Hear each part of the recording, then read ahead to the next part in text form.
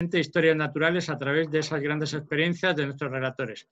Esta semana, chimpancés, focas, jaguares, exoplanetas, árboles y biodiversidad. Y todo ello absorbiendo la naturaleza con los cinco sentidos. Hoy vamos a conectar o estamos conectando con el Congo porque ya está en pantalla Fernando y es nuestra primera conexión internacional, así que esperemos que este cerebro global tenga estas dos neuronas bien conectadas, España y el Congo. ¿Qué experiencias personales querrá compartir con nosotros, Fernando? En este caso, hablamos de Fernando Turmo, del Instituto Jane Goodall. Y nada, nos conocimos personalmente en uno de los cursos documentales que organizamos desde Cotono y nos deleitó con las historias diarias que viven allí con los chimpancés. No se han embarcado en un trabajo, más bien tienen un compromiso de vida con estos animales y se han ido a vivir donde ellos están. Es algo para mí admirable. Entonces merece la pena escuchar y por tanto, ahora que se avivan las llamas de esta hoguera, todo lo que nos quiera contar de esta relación íntima con nuestros primos evolutivos, pues será genial. Ahora mismo somos 57 personas, vamos a, a salir de la pantalla porque vamos a hacer el ritual. No sé si me ves, Fernando. Bueno, tengo que poner. No, no te veo. Ahora sí que me vas a ver. Ahí me Ahora sí te veo. Bueno, pues nada, bienvenido, Fernando. Eh, desde el Congo, creo que hay bastante buena conexión. Y nada, vamos a cumplir con el ritual. Yo te entrego mi rungo y con eso te, concedo el don de la palabra para que nos cuentes las historias que quieras compartir.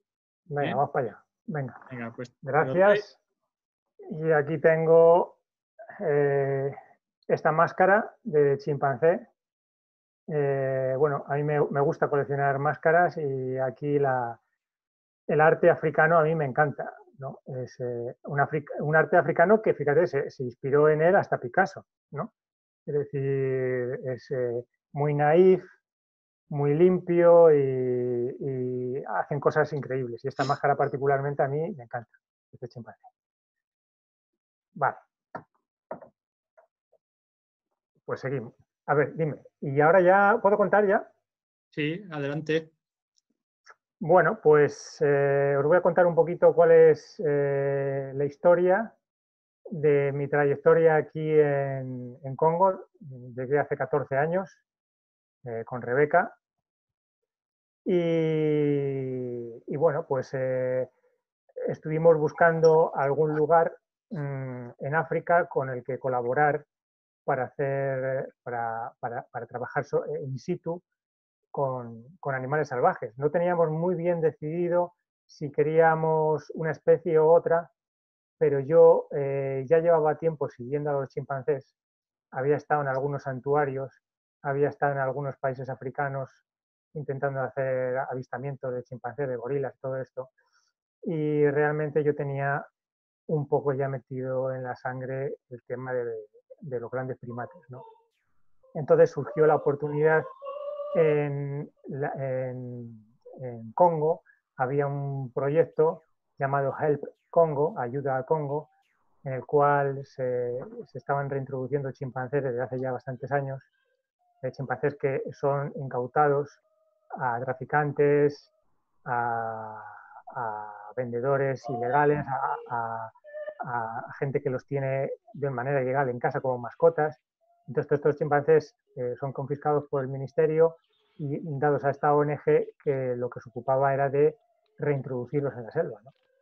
Entonces, allí en ese proyecto dio la casualidad que había una, veterinaria española, eh, Carmen Vidal, que, bueno, pues eh, había estado allí trabajando durante siete años y ya iba a cambiar de proyecto, tenía otras ideas en la cabeza y estaban buscando a una veterinaria que, que pudiera suplirla. Entonces, Rebeca es veterinaria de animales salvajes, tenía ya una experiencia con, con chimpancés y, bueno, pues eh, contactamos con ella y nos invitó a, ir allí e intentar eh, entender de qué se trataba el proyecto. Hicimos un viaje eh, inolvidable en el que salimos de, España para directamente meternos en la selva profunda de Congo, pero bien profundo, en un sitio súper alejado donde se están reintroduciendo estos chimpancés. Y bueno, mm, la oferta que nos hicieron fue estar allí por un año. Entonces no, no se podía estar menos, necesitaban gente que se implicara en el proyecto a, en largo término, ¿no? un año mínimo. Y entonces nosotros aceptamos y tuvimos que renunciar a muchas cosas eh, para dar ese paso, como podéis imaginaros. Eh, tuvimos que renunciar, yo tuve que renunciar a mi trabajo, yo era ilustrador de publicidad, con mi carpeta de clientes que me costó un montón ganar y todo eso. Yo estaba pagando un apartamento y un montón de cosas. A nivel familiar, imaginaros la bomba que cayó en mi casa cuando dije que me iba por un año a la selva de Congo a seguir chimpancés. Eh, ellos ya sabían un poco de mis inclinaciones al respecto, pero no se podían imaginar que iba a tomar esa decisión. Y Rebeca, pues algo por el estilo, aunque ella, bueno, ella iba a seguir trabajando como veterinaria, pero de ese proyecto. Así que se puede decir que cuando das un paso así, es ese filtro que deja mucha gente a un lado, de gente que quiere hacer eso, pero nunca se atreve o nunca puede eh, nunca encuentra el momento de poder dar un paso así en su vida, ¿no? Por otro tipo de compromisos familiares, los hijos, el trabajo o cualquier otro tipo de cosas. Pero nosotros eh, mm, fue un acto osado, fue una locura realmente, ¿no? Porque dejarlo todo por un año sin saber ciertamente hasta qué punto eso nos iba a gratificar, porque parecía muy espectacular muy llamativo, pero claro, eh, no, no, todo es fácil. Cuando te vas a la selva por un año, eh, el cambio es brusco y para alguien que le gusta la naturaleza, pero que se ha criado en Madrid como yo, pues imaginaros, ¿no? De Madrid a la selva congoleña, pues hay un tramo. Y, bueno, pues llegamos allí y me acuerdo que en nuestro primer viaje fuimos con Guillermo Bustelo, que es el director de, del santuario de chimpancés, el centro de rescate de chimpancés que hay en Madrid, es amigo nuestro, ¿no? Y fuimos para allí para hacer nuestra primera prospección sobre el terreno y me acuerdo que fuimos, eh, estábamos cenando allí en la selva pues con Carmen Vidal, otra gente, y tenían en una terraza una mesa larga llena de comida y estábamos como a la intemperie cenando. ¿no? Todos nos habían dicho que los chimpancés introducidos estaban bien lejos y que esa noche no había peligro, que podíamos e, cenar fuera y que no iban a acercarse al santuario, al, no al santuario, al campamento, mejor dicho. Y de repente, yo no se me olvidará nunca cuando oigo en las escaleras que subían, una escalinata que había, que subía, subía a la, a la terraza, ¿no? Se oye este sonido, ¡pum! ¡Pum! ¡pum! Y ves como toda la madera siente la vibración de algo pesado que está subiendo por las escaleras. Yo me acuerdo que estaba junto a la escalera, giré mi, mi, cara y vi entrar por allí un enorme chimpancé de unos 40-50 kilos con el pelo erizado que se subió encima de la mesa completamente de una manera irrespetuosa y se empezó a, a tirar todos los platos, a comer y a hacer lo que le diera la gana. Y, y todos nos decían, no, no, tranquilos, tranquilos, no le, no le provoquéis, no le contradic no, hay que, contradecirle, hay que dejar que haga lo que quiera, poneros contra la pared y dejarle hacerlo. Entonces, fíjate, ese es el primer recuerdo que tengo de estar con un chimpancé allí en Congo, aquí en Congo cara a cara, con un chimpancé de 50 kilos eh, encima de mi mesa comiéndose mi pan y todo esto. Y, bueno, y, tras estar allí ese pequeño, esa pequeña estancia, decidimos que sí, que nos quedábamos y ya preparamos todo y nos fuimos para allá.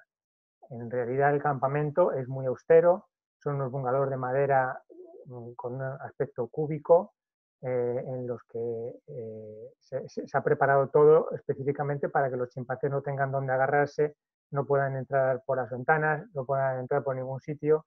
Son como cubos de madera y luego pues los interiores son muy austeros y tal. Bueno, pues allí pasamos un año con un montón de aventuras que os las podéis imaginar, ¿no? Porque el trabajo nuestro era hacer el seguimiento de los chimpancés con collares de radiotransmisión. Nosotros llevábamos una radio y sus collares emitían una señal y nosotros en la radio, cada chimpancé tenía un número y lo seguíamos a través de la selva de nido a nido. Nuestra misión fundamental era velar por la seguridad de esos chimpancés para que no fueran atacados eh, por los eh, chimpancés salvajes. Ese era nuestro principal objetivo. ¿Sabes? Porque cuando reintroduces a un chimpancé en la selva, eh, siempre, siempre, siempre va a estar en inferioridad de condiciones respecto a los chimpancés que ya están en la zona, porque no, no conocen los árboles, en qué momento fructifican, no conocen los lugares donde se pueden atravesar los ríos con puentes naturales, por ese tipo de árboles caen, no, o sea, no saben por dónde huir, hacia dónde ir, no saben cómo, no conocen el terreno. Entonces, hace falta que se les dé un tiempo a esos chimpancés para adaptarse. Entonces, este tipo de proyectos se ocupa de eso. Lo que ocurre es que es un trabajo que te, absorbe de tal manera la energía que al cabo de los meses realmente, eh, aunque parezca muy idílico, siguiendo chimpancés en la selva, pero realmente es un trabajo que eh, necesita mucha determinación y coraje y ser un poco valiente. Yo, yo no soy especialmente valiente, yo soy el típico personaje antihéroe total, pero tuve que afrontar situaciones durante ese año eh, muy complicadas y de alto riesgo y, bueno, pues eh, efectivamente se te queda todo grabado, ¿no? no solamente las cosas buenas, sino las malas y realmente es una situación crítica en algunos sentidos, al mismo tiempo que disfrutas, disfrutas porque para el que le gustan los chimpancés, pues tener la, posibilidad de, seguir a sus animales, pues o ser, mejor dicho, eh, día a día y estar ahí observando su comportamiento natural casi de una manera invisible, porque llega un momento que ellos te ignoran. Entonces, pues yo vi cosas increíbles, increíbles. Eh, para mí eso fue un, regalo de la vida, totalmente. Yo me acuerdo que, por ejemplo, Rebeca estuvo curando durante eh, contadas ocasiones a, uno a este mismo macho que se subió a la mesa, se llamaba Kutú.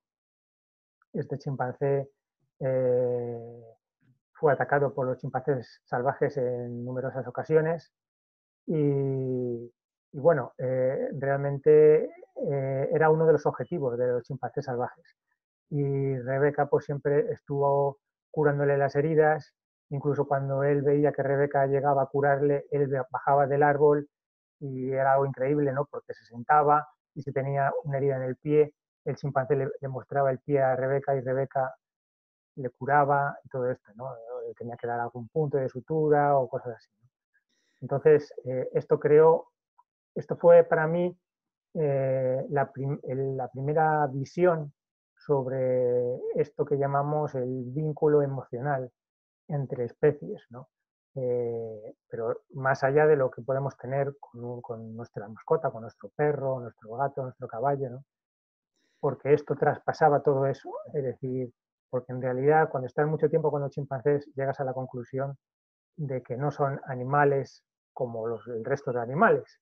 Es decir, tampoco son humanos, pero están ahí justo, justo en el medio, son ese eslabón entre el mundo animal y el, el reino humano, ¿no? por decirlo de alguna manera, aunque nosotros también somos humanos, eh, animales. ¿no? Fernando. Sí. ¿Te puedo interrumpir un segundillo? Eh, eh, no, quiero romperte el hilo conductor, pero avísame cuando, cuando quieras poner diapos, por un lado. Y por otro lado, tengo dos preguntas. Cuando quieras te las hago. Bueno, una de ellas tiene que ver con lo que estás hablando ahora. Dice, los chimpancés, Mar pregunta, los chimpancés introducidos. Ah, bueno, se ha incorporado alguna manada. Y después te hago la otra. Vale. Sí. Vale, pues ya puedes poner la primera foto si quieres, la de Kutú para que la gente vea aquí de qué chimpancé estamos hablando. Un chimpancé precioso, uno de los más bonitos que de cara y de complexión. Porque los chimpancés son como, son como las personas. Hay chimpancés feos y hay chimpancés guapos, ¿no? Pues fíjate, qué maravilla de qué, mirada pícara de inteligencia, cómo se, puede ver a través de esa mirada la inteligencia que guarda ese cerebro en el interior. Bueno, pues eh, como iba con... Ah, bueno, espera, eh, si me, me decías esa pregunta. Bueno, esa pregunta la voy a responder en lo que siguiente que voy a contar, ¿vale? Entonces, Entonces, eh, Rebeca eh, creó un vínculo muy fuerte con este chimpancé, tanto que, que, eran, se podía ver que eran realmente amigos, que se creó una amistad. Rebeca me decía, es que yo creo que, que Kutú eh, me ve como un amigo, porque cómo me trata esos pequeños micro detalles, micro que, lo ves en una persona cuando la conoces, que esa persona quiere ser tu amiga.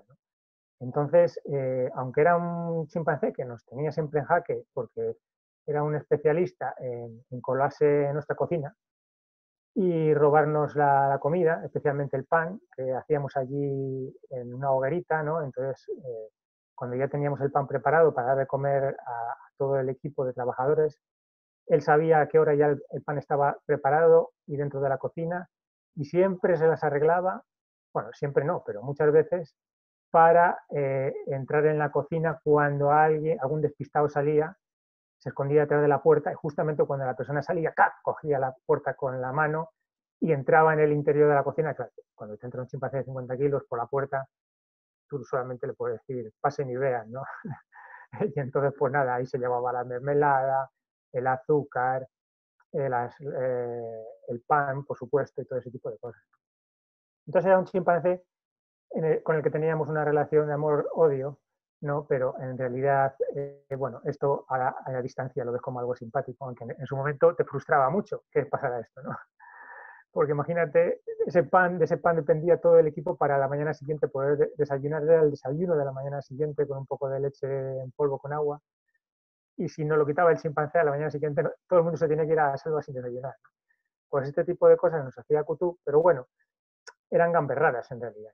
Bueno, el caso es que un día eh, Rebeca estaba en la selva colocando una, una placa en un árbol porque hacíamos censos botánicos de los árboles que daban fruta para los chimpancés.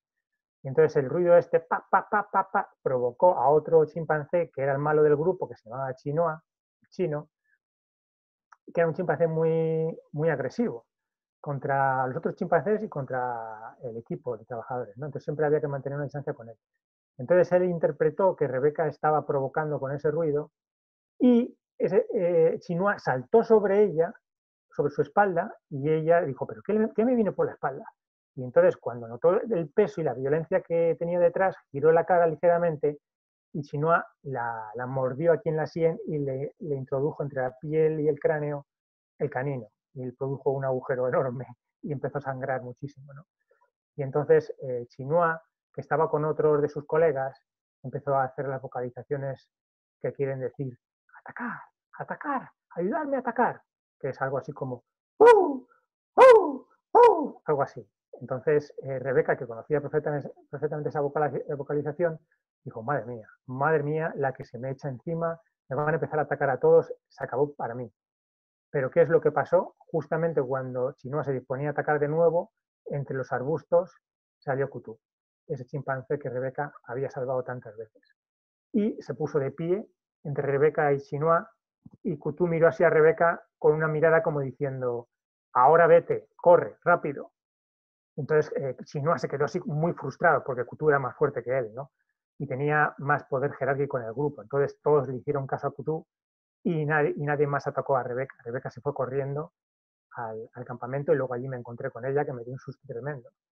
Pero fijaros con esta historia cómo se puede ver eh, cómo se crea ese tipo de, vínculo emocional, de empatía entre un chimpancé y una persona, que también ocurre con otros animales, ¿no? Como puede ser a lo mejor con un perro, ¿no? Pero eh, ellos son tan humanos y tienen gestos tan próximos a nosotros, tan inmediatos, tan, tan, tan nuestros, que en realidad eh, cuando llevas mucho tiempo trabajando con ellos, al final eh, te olvidas de que son, como dice la gente, monos o algo así. O sea, yo mm, tengo relación con algunos de ellos que son realmente, son, son amigos, amigos porque eh, se han criado conmigo desde pequeños y hemos tenido muchas aventuras juntos y, bueno, pues hemos, eh, hemos, eh, eh, son recuerdos inolvidables tanto para mí o para Rebeca o para los cuidadores como para ellos. Entonces, respecto a la pregunta de que si estos chimpancés que se reintroducen se integran con los otros salvajes, pues la respuesta es que hay de todo. Es decir, los chimpancés eh, machos tienen menos probabilidades. Sin embargo, ocurre algo muy interesante y es que las hembras eh, reintroducidas hacen un movimiento de fusión-fisión en el que se, van a visitar los grupos de chimpancés salvajes, eh, contactan con ellos, los machos chimpancés salvajes las acogen bien porque dicen, bueno, pues vamos a aumentar nuestro harén de hembras. Y lo que ocurre en muchas ocasiones es que estas hembras luego vuelven con los chimpancés reintroducidos, con los machos, y les enseñan la cultura de los chimpancés salvajes. Entonces los chimpancés machos introducidos, sin entrar en contacto con los machos salvajes, empiezan a aprender cosas sobre botánica y sobre otro tipo de secretos de la selva que son muy interesantes. ¿no? Es decir, ves cómo los chimpancés salvajes mm, conocen mm, una cantidad enorme de, plantas medicinales. Cuando están, le duele la tripa, te das cuenta que comen un tipo de planta. Cuando tienen una herida, comen otro tipo de planta. Y bueno, eso es, eso es cultura. algo que es también muy interesante de saber es que la gente africana eh, utiliza para la medicina y para la alimentación muchas de las hojas y de las plantas y de las cortezas que los chimpancés utilizan. Y yo creo que es una evidencia que los africanos, las personas africanas se inspiraron a través de la observación de las plantas que comían los chimpancés. Dijeron, joder, si los chimpancés comen esta planta, ¿qué, qué, por qué el chimpancé come esta planta? Yo creo que a partir de ese tipo de observaciones se generó un tipo de cultura botánica en las poblaciones humanas. Entonces, ahí debió de haber en algún punto de la historia un interesante intercambio cultural. luego, eh, bueno, ahí estuvimos, mira, eh, fue un año apasionante. No, solamente había chimpancés, había elefantes.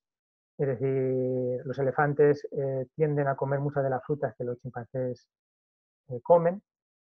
Y realmente tenía, nos vimos en situaciones muy, muy peligrosas, ¿no? porque los chimpancés de selva son muy agresivos, sobre todo si encuentras una hembra con un bebé o un macho que está en ese momento hormonal, ¿sabes?, eh, en el que está buscando una hembra y está muy excitado. Y si te pones en medio, bueno, yo te digo que a nivel personal sufrí varias cargas de elefante y es una sensación absolutamente primitiva. Notas que se te sale el corazón por la boca y que, vamos, si alguien te midiera la velocidad a la que corres, yo creo que debo de tener el récord mundial de la distancia, porque corres tan rápido y sin control, no sabes ni por dónde vas. O sea, lo único que, quieres es correr, porque es que lo sientes que va detrás de ti, baritonando, y es como un tanque, va arrasando a través de los arbustos y claro, las personas mm, somos muy torpes en la selva corriendo respecto a un, a un elefante. Entonces, Sí. Aprovechando el cambio, de, eh, te, hago algunas preguntas. están haciendo muchísimas, ¿eh? está, muy bien. ¿Vale? Entonces te voy haciendo de dos en dos y tú las vas introduciendo en tu relato, ¿vale? Una es simplemente que al hijo de Ángel, que se llama Hugo, eh, pregunta por, porque le llama la atención la escopeta que hay a la izquierda tuya, bueno, a la derecha, ¿no? Sería tuya en tu caso y, para qué se necesita esa escopeta, ¿vale? Y después Julián Zamora eh, también pregunta, ah, ¿hay miedo al contagio de COVID a los, a los primates? Después te pregunto más cosas, ¿vale? Vale, sí, bueno, ahora está esto del COVID en plena actualidad. Eh, es muy, ¿sabes? De esto podríamos estar hablando otra charla aparte, ¿no? Porque como ya sabéis, el COVID se ha demostrado en laboratorios genéticamente que, pese a todo lo que se especula, se ha demostrado genéticamente que ese virus no ha podido ser creado en laboratorio. Eh, ha sido un, virus que, existe naturalmente en los pangolines y en los murciélagos, fundamentalmente en los murciélagos, y que, y que en realidad lo que estamos sufriendo ahora todos es una zoonosis. Una zoonosis es que es la transmisión de enfermedades de los animales a las personas.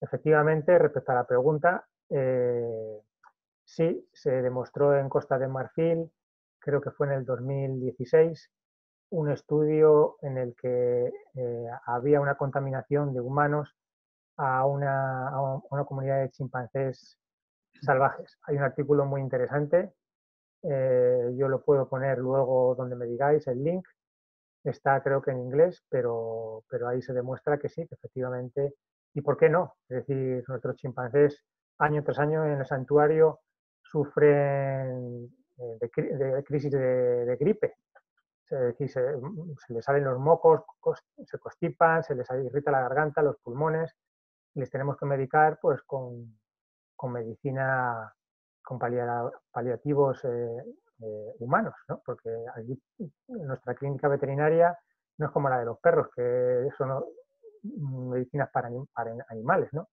Nuestra clínica veterinaria es de medicamento de humana. Entonces, con eso te lo digo todo. ¿no? Entonces, claro que el chimpancé, estoy convencido que, aparte de esto que se demuestra en Costa de Marfil, puede ser susceptible al coronavirus. Eh, son genéticamente tan similares a nosotros que son susceptibles a prácticamente todas las enfermedades o muchas de las enfermedades que podemos sufrir nosotros. Ok, ¿y la, escopeta? La escopeta, bueno, eh, la escopeta es una escopeta que tengo por aquí rondando siempre porque es eh, una, una, una escopeta confiscada por nuestro equipo de coguardas, porque el santuario de Chimpunga está dentro de una reserva de, que se llama con el mismo nombre, Chimpunga, de 50.000 hectáreas, es, tiene como el tamaño más o menos del Parque Nacional de Doñana, más o menos. Y entonces necesitamos un equipo de coguardas. Entonces, esta escopeta fue confiscada a un cazador y es una escopeta que ya no funciona, está oxidada y todo, pero que yo se la pido a los ecoguardas para grabar los episodios de televisión educativos que hacemos aquí, de los que luego yo voy a hablar un poquito a lo último si me queda algo de tiempo, ¿no? Sí, sí, habrá tiempo. Sí. Mm. Entonces, pues bueno, pues siguiendo un poco con la historia, eh, yo puedo contar también, antes ya de salir de aquel proyecto y empezar con Chimpunga, eh, yo a, a, su vez también creé un vínculo emocional muy fuerte con una hembra que se llama Perlet. Entonces, quizá puedas poner la siguiente foto la de la chimpancé con la hembra encima. Esta chimpancé, bueno, la foto no es de mucha calidad, pero yo he preferido, he preferido poner esto antes que no mostrar nada. Entonces esta chimpancé no es, ahí veis con el collar. Este, esto fue luego ya tomado después de que nosotros nos fuimos de allí. O sea, esta foto me parece que no es ni mía, ¿no? Pero bueno, mm, esta chimpancé cuando yo, a mí me asignaron que yo tenía que proteger específicamente a este chimpancé. Entonces yo pasé semanas y meses y meses siguiendo a esta chimpancé, bueno, no sola, ella convivía con los otros chimpancés, con Cutú, con Chinois, con todos los demás.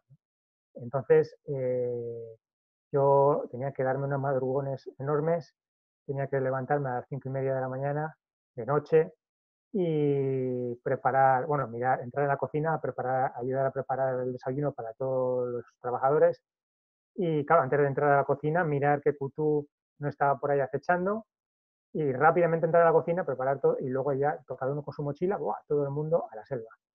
Y entonces, claro, tenías que llegar al nido que había hecho la última noche Perlet antes de que se hiciera de día, para que, eh, porque los chimpancés salvajes podían empezar a madrugar mucho para patrullar y podían encontrar a nuestros chimpancés. Nosotros eh, lo que intentábamos es menos las horas de sueño, es decir, desde las 7 de la tarde hasta las 5 y hasta las 6 de la mañana, más o menos, nosotros nos íbamos al campamento, pero el resto del día teníamos que estar con ellos.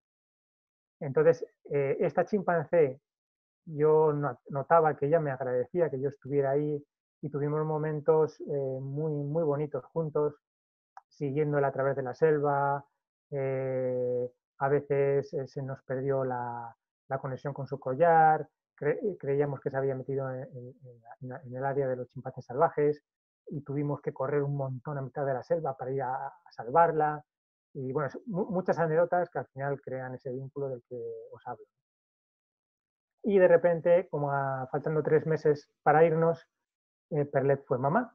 Eh, entonces ahí, ahí la tenemos ya con su bebé bien, bien crecido. Yo cuando me fui, el bebé solamente tenía tres meses pero imaginaros para mí eh, una amiga a la que estaba siguiendo día a día y yo que le veía la barriga muy gorda, eh, ya empezamos a sospechar que realmente estaba embarazada y un día no bajaba del árbol, no bajaba del árbol, dos días sin bajar del árbol y de repente se asoma y veo que tenía una cosa pequeñita ahí pegada a la tripa. ¡Ah! Perlet ha sido madre, Perlet ha sido madre. De verdad que os digo que fue una sensación maravillosa.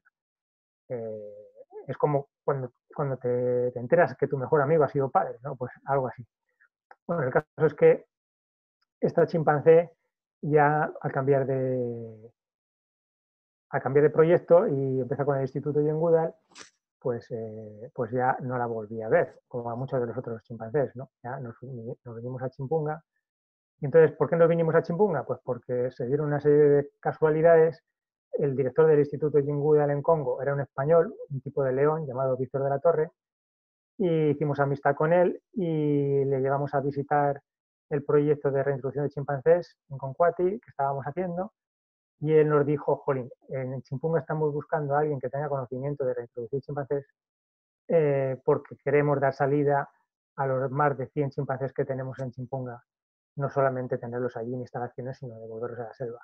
Entonces él nos ofreció la posibilidad de, empezar a trabajar con él y nos dijo, y ahora en abril Jane Woodall viene, como casi todos los años, a Congo a visitar Chimpunga. Y si queréis, yo puedo convencerla para traerla hasta aquí, hasta mitad de la selva, a vuestro campamento, que os conozca y habláis sobre la idea de, de, poder ir a Chimpunga. Entonces, pues claro, pues nosotros, imagínate, eso cayó como una bomba entre nosotros. Y efectivamente lo dijo y lo cumplió. Y en abril eh, yo me acuerdo que ya estábamos esperando, no sabíamos si al final iba a llegar porque estábamos incomunicados, no funcionaba la radio. Y de repente se oye el barco por el río y da la última curva al barco. Y me acuerdo esa visión de Jane Goodall encima de la barca, de pie, con su pelo blanco, ahí eh, con el aire, con una capitana de barco, vamos y tal, todo lo demás sentados, venía con una delegación del Instituto Jane Goodall, con Víctor también y entonces la recibimos allí, pues fue un momento muy emocionante, ¿no? Tener a Jane allí en mitad de, la nada, ¿no?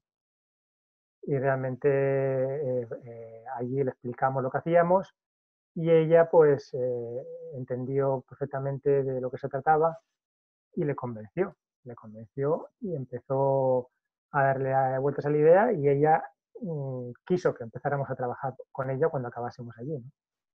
Entonces, dos meses después acabamos allí y empezamos en el santuario de Chimpunga, que es el santuario más grande de África de chimpancés, que actualmente tiene 140 y algo chimpancés. En aquella tenía unos 100 chimpancés. Y entonces, pues mm, empezamos a, fíjate, salimos de la selva y Chimpunga es algo completamente diferente. Es un, santuario que está en una colina, encima de una colina, rodeado de bosques, pero también de sabanas. Es un sitio más abierto, más despejado, menos eh, claustrofóbico, ¿no? porque la selva puede llegar a ser claustrofóbica, solamente que ves vegetación encima de ti por todos lados. Y, bueno, pues allí empezaron, sí, gracias, esta foto viene al caso, y ahí empezamos a darnos cuenta de cuál es la realidad de un santuario como Chimpunga, en el que los chimpancés llegan en unas condiciones realmente lamentables, eh, desnutridos, llenos de parásitos, eh, deprimidos, eh, con las miradas perdidas, se puede ver perfectamente la depresión en los ojos de un chimpancé. Es decir, cuando llegan los bebés, imagínate, acaban de perder a su madre, acaban de perder el contexto habitual en que se rodeaba, su hogar, y encima una especie extraña para él, la cual mató a su madre delante de él, la, lo cogió, lo metió en una caja, y lo llevó a un pueblo y del pueblo a la ciudad y de la ciudad lo metieron con una cadena, lo ataron en cualquier sitio. O sea, fíjate el trauma que pueden tener estos animales. Y es entonces ahí cuando estos chimpancés, pese a que la especie humana le ha hecho todo eso, saben diferenciar entre quienes hace el mal y quien quiere ayudarles. ¿no? Entonces cuando llevan tiempo en el santuario empiezan a, a crearse también ese tipo de vínculos este chimpancé que vemos aquí en la foto está con Rebeca y fíjate, a mí esta foto quizás no sea de las que tengan más calidad de foco, de luz y todo, pero es una de mis preferidas porque se ve esa, esa mirada perdida, deprimida, mirar qué ojeras tiene con las, con las ojeras hinchadas, ¿no? Y con pérdida de pelo, estaba lleno de parásitos este chimpancé, estaba totalmente bloqueado, su sistema digestivo estaba totalmente bloqueado y estuvimos a punto de perderlo. Eh, y fijaros el gesto tan humano que hace con la mano. O sea, los chimpancés hacen este gesto cuando quieren pedir ayuda. Entonces hacen, ayuda, ayúdame, ayúdame, ayúdame. Entonces, eh, ese momento lo capté en esta foto y, entonces a partir de ahí ya cuando ellos se les asigna una madre adoptiva, eh, que suelen ser mujeres, porque ponemos a mujeres congoleñas que han sido anteriormente madres, porque aplican ese conocimiento, esa experiencia de, la maternidad a nuestros bebés. Entonces ellos ya saben, ya saben son, son pacientes, son comprensivas, pero al mismo tiempo saben dirigir a un bebé que en un momento dado puede ser rebelde. Y son muy cuidadosas con, todo tipo de cosas. Las cuidadoras duermen desde el primer día con, con los bebés, porque se ha demostrado que los bebés con los que se duerme desde el principio se crea una mayor, mm, una mayor calma espiritual en ellos, ¿no? porque eh, no hay nada más horrible para un bebé que en mitad de una pesadilla despertarse y encontrarse solo. Entonces, eh, siempre les ponemos una madre adoptiva con ellos para que estén protegidos en todo momento, porque al principio, sobre todo en los primeros días, tienen convulsiones por la noche y movimientos en los que se ve claramente que están sufriendo pesadillas. Entonces, sí. Cuando puedas, te lanzo otras dos preguntillas, ¿vale? Y Las, vas las vas encajando. Venga, por ello. Mira, eh, Ramón dice con qué frecuencia comen carne y hace referencia al relato que hizo Fernando González Siches eh, sobre el rapto de bebés humanos. Y después otra de Ramón, eh, ¿en qué se parecen a nosotros?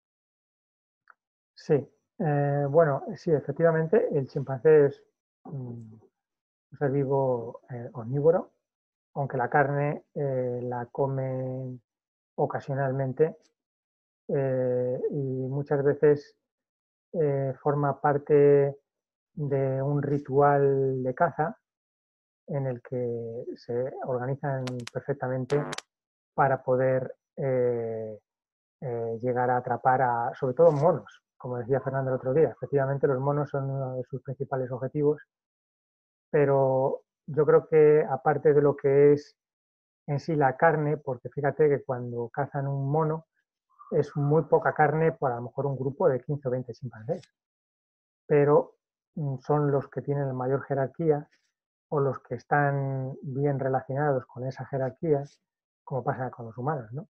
que reciben o tienen acceso a esa porción de carne. Todos los demás que han participado quizás se quedan sin carne. Entonces no se puede decir que los, los chimpancés vivan de la carne, pero es más mm, un acto social, ¿no? el ir de caza, ¿no? como hacen muchas veces los seres humanos.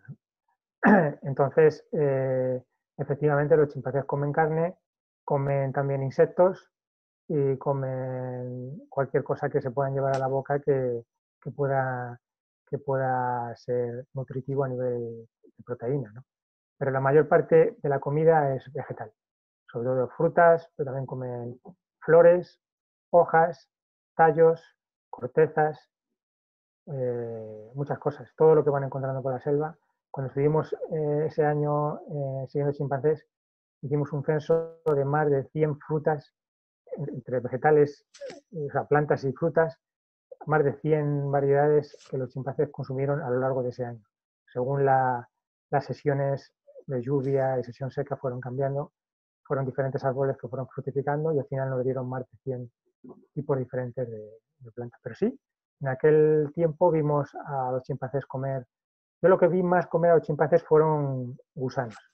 Gusanos de estos gordotes que, que se esconden en los árboles, en la madera muerta. Y bueno, ahora ya pasando, siguiendo un poco con este tipo de historias, de vínculos emocionales, aquí tengo a mi querido amigo Ulengue.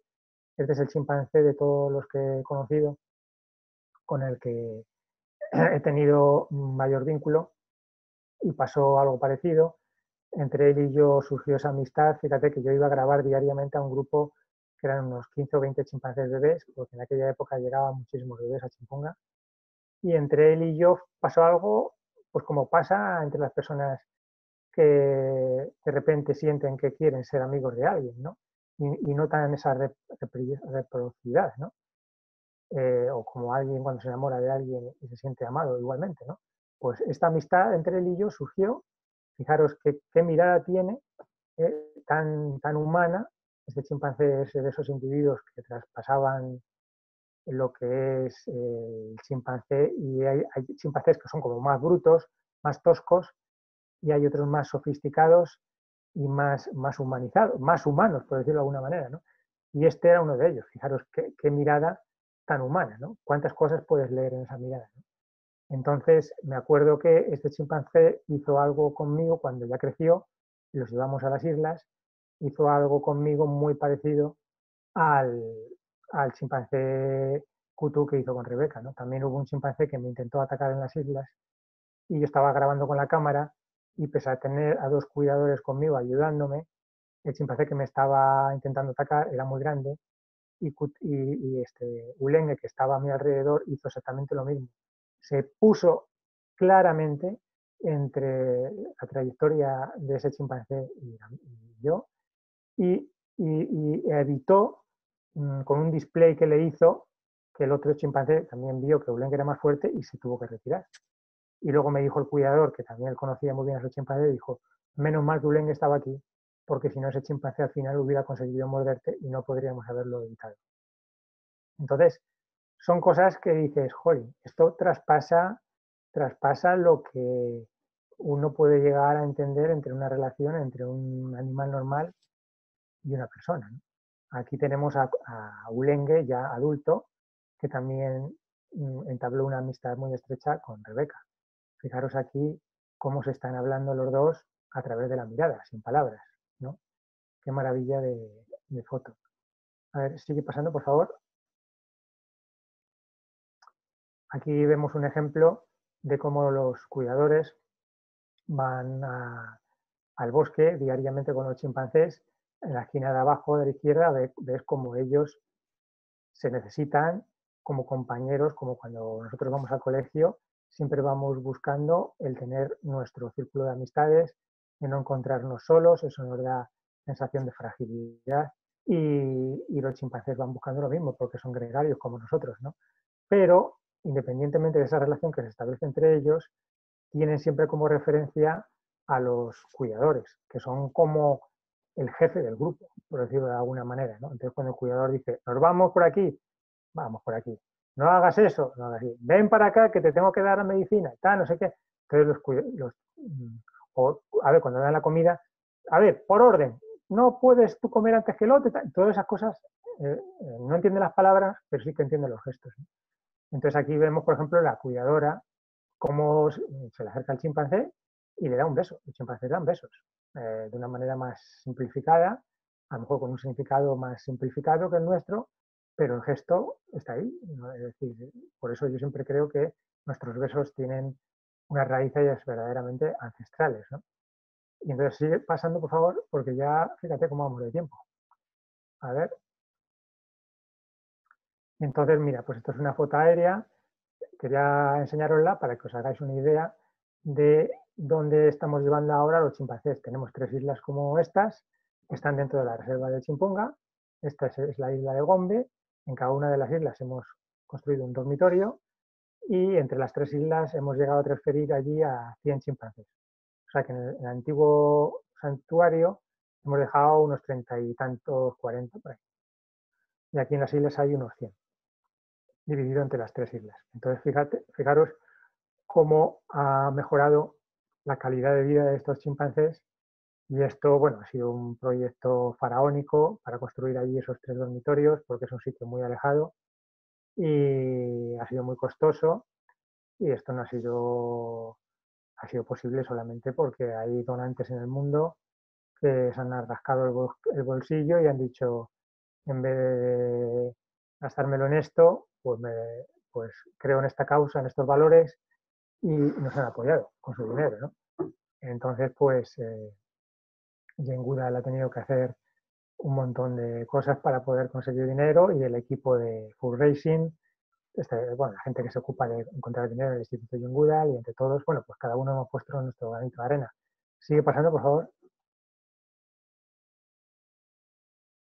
Y bueno, pues aquí, ya para casi acabar, quería hablaros de la otra vertiente en la que tenemos mucho empeño y creemos profundamente, y es en la educación.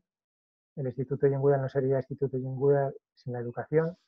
En muchos países del mundo se está invirtiendo una gran cantidad de energía, de medios y de ilusión en intentar cambiar mentes a través de la educación.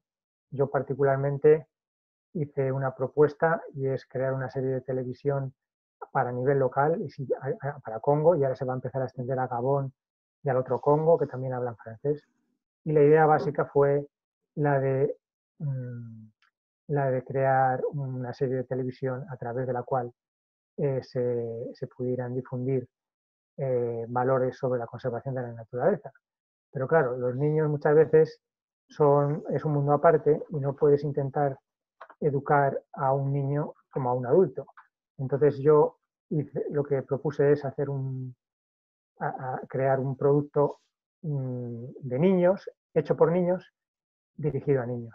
Y eso ha funcionado de una manera bárbara, que básicamente cuenta la historia de un niño que se estudia de la derecha con su traje de superhéroe, ¿no? Un día conoce a un personaje místico en la selva, que aquí creen mucho en ese tipo de magia, y ese personaje místico le da un poder mágico y con ese poder mágico este chaval empieza a defender a la naturaleza de todos sus peligros. Aquí le tenemos en este capítulo pues con unos cazadores que habían, habían matado a un elefante y estaban transportando el, marfil y, bueno, pues Supercodo con la ayuda de sus colegas que son karatecas, pues eh, entre todos consiguen capturar a los cazadores. Veis cómo la magia de Supercodo es eh, imbatible y este cazador, después de recibir esa descarga eléctrica, cae fulminado al suelo. A ver, sigue pasando, por favor. Aquí vemos otro de los capítulos. Este fue un capítulo muy importante porque contamos la historia de cómo el ébola entra en un pueblo de Congo mm, eh, a través de la caza de unos chimpancés que estaban con el virus, que tenían el virus. Entonces, eh, es una historia tan cercana, con personajes que hablan eh, el francés africano, niños africanos, pueblos africanos, el contexto es todo africano, y la historia, la manera de expresarse, todo es africano. Entonces, esto les resulta tan cercano que funciona a las mil maravillas. Entonces, aquí me, busqué la vida para conseguir estos trajes de antiébola y bueno, organizamos una en el pueblo que fue divertidísimo. Eh, aquí los ves, aquí al niño le veis vomitando sangre, pero en realidad, en realidad estaba vomitando eh, salsa de tomate. Y la verdad es que no lo pasamos eh, muy bien. Y el resultado fue genial, porque a través de esta historia de niños salvando, porque los que están con el traje de ébola son Supercodo y el amigo. es una historia muy larga de contar, ¿no? pero Fijaros cómo puede llegar este tipo de producto a los niños para decirles, en definitiva, que si cazáis animales de la selva, esto puede producir una zoonosis como el ébola, el SIDA o actualmente el coronavirus. Y, bueno, pues eh, no sé, eh, podría contar muchas más cosas, pero no sé cómo vamos de tiempo. Tengo aquí unos libros para recomendar no sé si tienes preguntas. ¿Qué me dirás? Sí, sí, sí, sí, sí. Hay preguntas. Eh, a ver que salga de compartir pantalla un momento. Eh, Fernando, hay tantas preguntas que dan para, otro. Te voy a hacer algunas, las que dé tiempo, porque bueno, más o menos estamos completando la hora. Y mm, eh, vamos, obviamente he dejado pasar el tiempo, era media hora y diez minutos, pero es que cuando suscitan interés estas cosas, pues sabes lo que pasa. Entonces, si, te parece, eh, primero recomienda esos libros, ¿vale? Y te hago las preguntas, las que pueda.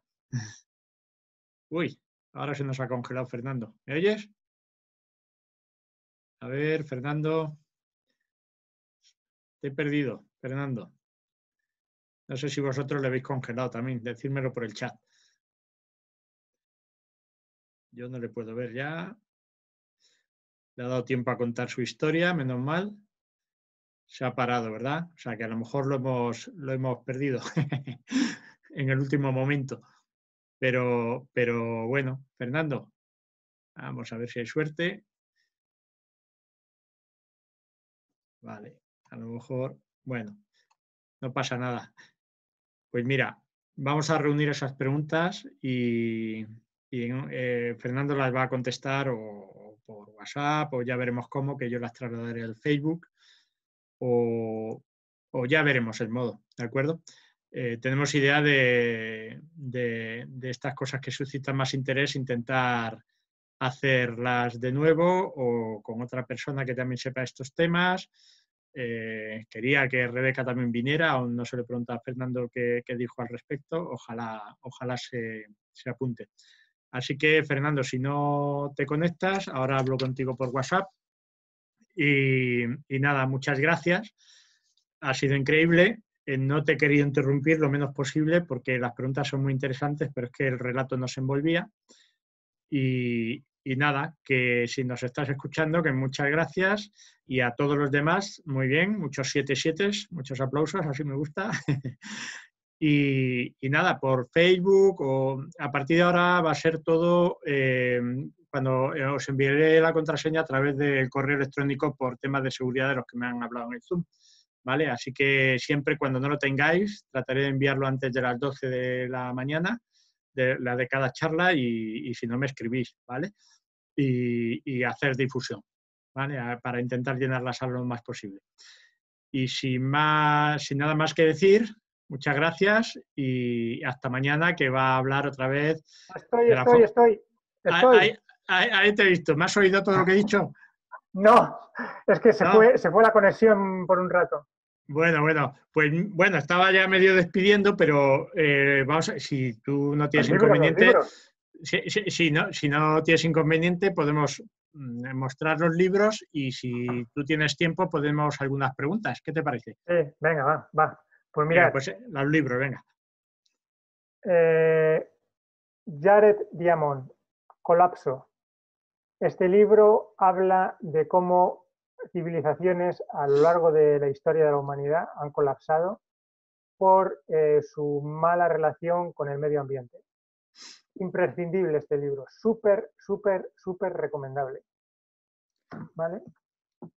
Luego, este libro, en la, en la, en la sombra del hombre, en la, la sombra, del hombre de Jane Goodall, es uno de los, sus libros más emblemáticos. Está, este está en inglés, pero lo tenéis también en español. Se puede conseguir en Amazon. Y el de Colapso también, ¿eh? se puede conseguir en Amazon. Luego también me gustaría recomendar este, que estoy casi acabándolo, el de Sapiens. ¿eh? Este escritor eh, realmente es un hombre sabio que sabe un montón de cosas y las ha puesto todas juntas aquí y, realmente sobre, la, sobre lo que es el humano desde que surgió y a las cosas que se ha ido enfrentando al cabo de la, naturaleza, al cabo de la historia. Bueno, muy recomendable este libro. Además es un bestseller, yo creo que hay mucha gente que lo tiene. Y por último, este que me tiene totalmente pillado, que se llama Opening Doors, abriendo puertas, y que habla sobre el santuario más grande de chimpancés que hay en Estados Unidos, con más de 100 chimpancés, y todos ellos rescatados de laboratorios. Realmente algo dramático, algo impresionante, y cuando ves las fotos y lees el texto, es, para alucinar. Este no sé si se podrá conseguir en España, pero el que tenga la oportunidad, ahí queda.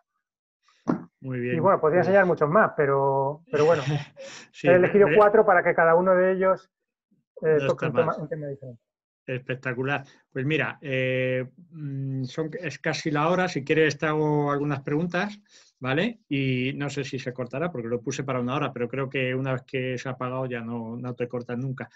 Entonces, eh, mira, Paco Guerrero dice, ¿se sueltan los chimpancés de forma individual? ¿Cómo se procede al, contacto con la manada salvaje? Y Ramón, te hago dos preguntas. ¿Con qué frecuencia comen, esta ya te he hecho, ¿no? La de los bebés humanos. Eh, Manuel, ¿Cuántos trabajadores sois y cuántos chimpancés hay de, no respondí la de los bebés humanos. Vale, vale, pues ahí las tienes. Bueno, pues la de los bebés humanos. Mm, bueno, eh, esto ocurre en lugares eh, en los que la, la, especie humana se está expandiendo de una manera eh, exponencial, descontrolada, como es el caso de Uganda. Uganda es uno de los países con mayor crecimiento humano eh, la gente son familias de 7, 8, 9 hijos, muchísimas familias que tienen este tipo de planificación familiar, entre comillas.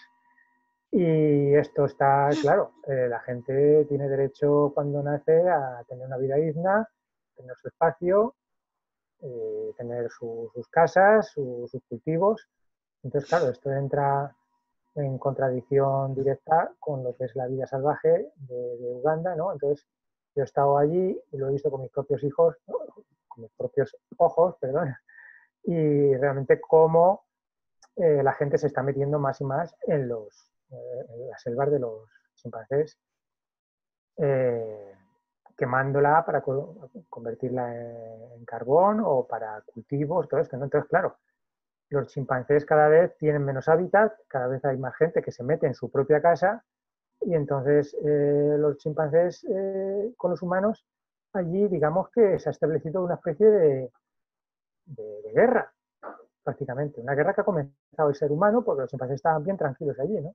Entonces, claro, los chimpancés entran en los cultivos, eh, roban los plátanos, los, los, humanos intentan defenderse, matan, matan, a los chimpancés y los chimpancés, pues cuando ven a un bebé solo en la puerta de una casa, pues a lo mejor sí que, sí que puede suceder eso.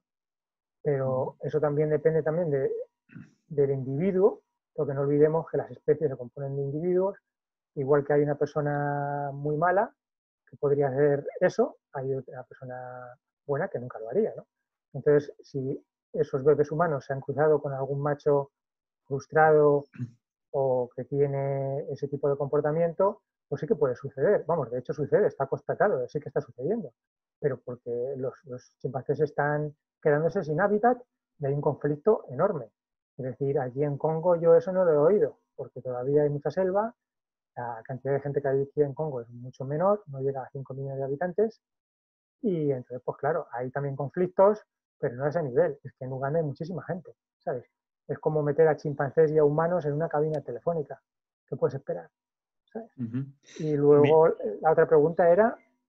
La otra eh, era, a ver, ah, Guerrero, ¿se sueltan chimpancés de forma individual o cómo se procede el contacto con sí, bueno, nosotros como, nosotros como vamos a hacer, hemos preparado un grupo de aproximadamente 50 chimpancés en una de las islas. Ya está todo coexionado, todos se llevan bien, está, bueno, relativamente dentro de un grupo de 50, ¿no? Entonces están, están en teniendo la oportunidad de vivir en un ecosistema parecido al de la selva abierta, porque la isla es enorme, cubierta completamente de bosque, y entonces ya están establecidas sus jerarquías y todo eso. Entonces, este grupo está planificado reintroducirlo en un futuro próximo en el Parque Nacional de Concuatiduli, que está pues, a unos kilómetros de aquí de nuestra reserva. Y eh, lo vamos a reintroducir o sea, el objetivo es que estén todos juntos, una vez que estén todos liberados, pero no los vamos a liberar todos a la vez, va a ser eh, paulatinamente y siguiendo un orden jerárquico que permita que las cosas funcionen lo mejor posible. Y será un proceso largo y que requerirá también de mucho esfuerzo de todos los niveles. Pero sí, esto requiere de un proceso técnico mm, que empieza desde las integraciones que hemos hecho en la isla para conseguir que todos los chimpancés se respeten y se, aguanten más o menos. Y luego, eh, después de eso, que ha sido un largo proceso, ya hemos acabado, ahora viene el segundo proceso y es en qué orden los vamos a llevar a la liberación y cómo vamos a hacer todo aquello. O sea, es muy complejo, no creáis que es llegar y soltar un pájaro que empieza a volar. Mira, eh, Alex, eh, te lanzo dos preguntas más y si quieres paramos, dejamos un poco con hambre a la gente y te mando las preguntas para, para, no, porque es que hay para una hora y pico. ¿eh? pues bueno, a mí como me metas caña, yo puedo estar aquí tres días. Mira, dice Alex, eh, ¿Pueden los chimpancés reintroducidos generar más problemas a la población humana precisamente porque han convivido con nosotros y están más resabiados? Y te hago otra pregunta también. Mar, te dice, ¿las madres congoleñas adoptivas son voluntarias? Ok. Bueno, efectivamente, esa pregunta es muy buena. Realmente nuestros chimpancés están habituados a la presencia humana. Entonces, eh, para evitar, en la medida de lo posible eh, este tipo de conflictos con las poblaciones humanas locales, hemos, eh, nos ha costado mucho encontrar el lugar eh, en el que los vamos a reintroducir. Es un sitio súper alejado y dividido por ríos bastante anchos que hacen de frontera natural de las primeras aldeas. Mm. entonces, allí es un sitio muy poco frecuentado por personas si alguna va allí es porque va a cazar y eso lo vamos a intentar también trabajar porque a través de, la educación, de la sensibilización, de que nosotros estamos allí con chimpancés y también estará el equipo de coguardas para intentar evitar que esos cazadores lleguen a la zona donde los chimpancés van a estar introducidos. Entonces, contar con la posibilidad, posibilidad de que uno de nuestros chimpancés pueda llegar a uno de los pueblos es muy, muy, muy difícil que eso ocurra, ¿no? Pero de todas maneras, eh, ¿sabes? El mar no tiene fronteras, ¿no? Y la selva menos, bueno, tampoco, ¿no? Entonces, siempre podría ocurrir algún, alguna cosa puntual, pero esperemos que no. Para eso hemos trabajado a conciencia para encontrar el lugar adecuado. Y la, la, otra pregunta era... Eh, ¿Las madres congoleñas adoptivas ah, son voluntarias? No, no, no son voluntarias. Aquí tenemos no tenemos trabajo voluntario, aquí todo el, todo el mundo trabaja con, contrato, con congoleñas, madres congoleñas eh, con contrato. Venga, dos preguntas más y yo creo que cerramos y las que queden te las envío y las publicaremos en Facebook, si os parece, ¿vale? Muy bien, muy bien. Y, bueno, si hay otra oportunidad, Fernando, pues ya sabes que estás invitadísimo al fuego de campamento. Sí, bueno. a ti, a Rebeca y a los que estáis ahí. Sí, vale. Mira, te lanzo dos. Eh, Ramón Soria dice, ¿cómo ves el futuro de los chimpancés a 20, 30 años? Y después Lucía también pregunta, ¿no tenéis miedo de que al aislar los grupos en estos lugares puedan producirse aumentos de consanguinidad? Vale. Eh, bueno, la primera pregunta, ¿cómo veo los chimpancés? Mira, hay una frase por ahí que dice, eh, yo tiendo a pensar en positivo porque pensar de otra manera es poco productivo. Entonces, eh, realmente mm, yo soy una persona que tiende a verlo desde el lado práctico y realmente eh, creo que cada persona podemos hacer algo en este mundo por que las cosas vayan mejor. Este es un pedacito de todo lo que se hace a nivel de conservación. Nuestro proyecto es un pedacito eh, todo lo que se hace de conservación de la naturaleza en el mundo. Entonces, nosotros hacemos nuestra parte, que es ayudar a los chimpancés huérfanos a recuperar su libertad y darles una segunda oportunidad. Efectivamente, los chimpancés eh, lo van teniendo cada vez más difícil, eh, pero eso va a depender también de nosotros, de los humanos. Si nos seguimos multiplicando exponencialmente, no es que vaya a ser más difícil para los chimpancés. Es que va a llegar un momento en que va a ser más difícil para nosotros. Fijaros esto del coronavirus. Sí, ha sido una zoonosis que pasó en China, pero ¿por qué puede llegar hasta Estados Unidos desde China o a cualquier parte del mundo? Porque hay gente por tantos lados, estamos tan interconectados y hemos llenado todos sitios de gente que cualquier tipo de pandemia cada vez serán más graves, porque cada vez somos más gente. Entonces, si la clave de todo esto en la conservación de la naturaleza es la eh, planificación familiar. Es que no tiene vuelta de hoja, es que de, ahí vienen todos los problemas, porque la gente se está multiplicando exponencialmente Y si veis la curva de la historia de la humanidad en los últimos 100 años, hasta los últimos 100 años ha hecho así, y en los últimos 100 años, así. Entonces, si esto, lo que está pasando ahora con nuestra especie, no ha pasado nunca antes. En estos últimos 100 años eh, nos hemos disparado exponencialmente, no hacemos más que multiplicarnos y multiplicarnos. Entonces, cuando, cuando la gente me dice que si serán tiempos difíciles los que vienen para los chimpancés, yo creo que van a ser tiempos difíciles para todos si no paramos de multiplicarnos. Ese es mi, ese es mi punto de vista. ¿Y lo de la consanguinidad? Bueno, son, eh, bueno, son unas 50 chimpancés nosotros que vamos a reintroducir. Ahora mismo en el santuario tienen implantes eh, anti-baby, las hembras, entonces no, no, se pueden reproducir aquí, eh, salvo algún accidente que ha pasado, como pasa en las, eh, las mujeres, ¿no? A veces pueden tener llevar el anticonceptivo y quedarse embarazadas, ¿no? Pues con los chimpancés también a veces pasa. Pero cuando, cuando ese grupo los vayamos a reintroducir, les vamos a quitar el implante y ahí se van a, se van a, se van a combinar entre ellos un, grupo de 50, pero no olvidemos lo que contaba al principio, ¿no? que las hembras hacen fusión-fisión y se van a fusionar y con los chimpancés eh, salvajes y ahí habrá eh, suficiente variedad genética. Es más, nuestros chimpancés van a hacer una aportación más a nivel genético a los chimpancés. Además, cada uno de nuestros individuos sabemos su genética, sabemos a qué subespecie pertenece, porque todos esos trabajos ya están hechos. A nivel genética hemos hecho un, trabajo maravilloso en colaboración con Max Planck Institute. Perdón.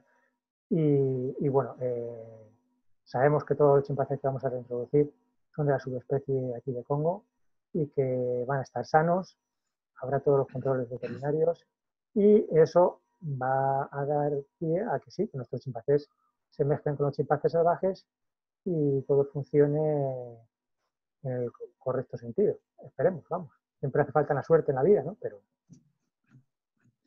Pues, Fernando, ha estado genial. Eh, hemos sobrepasado la hora, pero hemos estado muy a gusto todos, no, se nos ha hecho cortísimo. Y, nada, que, te agradecemos mucho esta compañía desde el Congo. Esperemos, eh, espero que también te hayas sentido a gusto con todos nosotros. Y, nada, eh, seguimos en contacto. Te mandaré estas preguntas cuando buenamente puedas y puedes, pues las vas, eh, las vas resolviendo. solamente me, mira, una vez cuando estaba dando una conferencia en Buenos Aires sobre nuestro proyecto. Un grupo de chicos que estaban allí desarrollando un, proyecto educativo, Root and Shoots, Raíces y Brotes del Instituto Jim Goodall, eh, me, hicieron me, pusieron allí y me hicieron una serie de preguntas.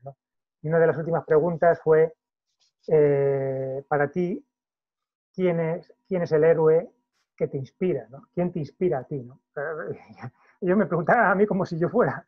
Pero bueno, el caso es que eh, y mi pregunta fue la siguiente. Digo, para mí un héroe es gente como tú, Juan, ¿sabes? Gente como todos los que están aquí, a pie del cañón, intentando hacer este tipo de proyectos, esta iniciativa de estas, eh, de estas conversaciones sobre la, conservación de la naturaleza, me parece una idea brillante y es una heroicidad más, ¿no? Todos necesitamos aportar nuestro granito de arena y no solamente es el héroe que sale en el documental, como Jane Goodall, sino un tipo como tú que se le ocurre esta iniciativa. Así que que sepas que para mí tú eres mi. Pues muchas gracias, muchas gracias. Es recíproco y, la verdad es que me ha más emocionado. No, pero es verdad, lo de corazón. ¿eh? Sí, sí, pues muchísimas gracias. Eh, esto de Fuego de Campamento está teniendo muchísimo éxito. Aún tengo que canalizarlo un poco mejor por el tema de la herramienta de Zoom, pero, pero hay mucha demanda, todo el mundo, hay mucha gente que quiere hablar. Y, lo que decía Galán y ahora lo acabas tú de conectar, que es que hay que liderar, ¿no? Hay que aprender primero el liderazgo de uno mismo, de todos los que están haciendo preguntas, hoy más que nunca, y, después a partir de ahí con pequeños grupos o grandes, bueno, con, esta herramienta que es Internet, eh, podemos ser líderes globales y eso no es que a nadie se le suba a la cabeza nada, sino que, podemos hacerlo y también es desarrollo personal, ¿sabes? Claro, claro, claro, claro. Así que hablando... Como dice Jen Goodall, como dice Goodall, cada uno de nosotros somos importantes. Pues eh, refiriéndome a Jane Goodall, que ha sido su cumpleaños, parece ser el 3 de abril, ¿vale? De parte de todos nosotros, la felicitas y que es una gran inspiradora. Para todos nosotros. Por supuesto que sí. Bueno, pues un abrazo a ti, a Rebeca, a, James y le manda las felicitaciones y seguimos conectados, ¿vale? A través del teléfono. Sí, yo, voy, yo voy a seguir las siguientes charlas y a seguir aprendiendo con vosotros. Venga, pues un gran abrazo. Espero también hay tus preguntas a las otras charlas. Vale, venga. Venga, un gran, un gran abrazo y, ya cortamos eh, una hora y quince minutos. Fenomenal, fenomenal.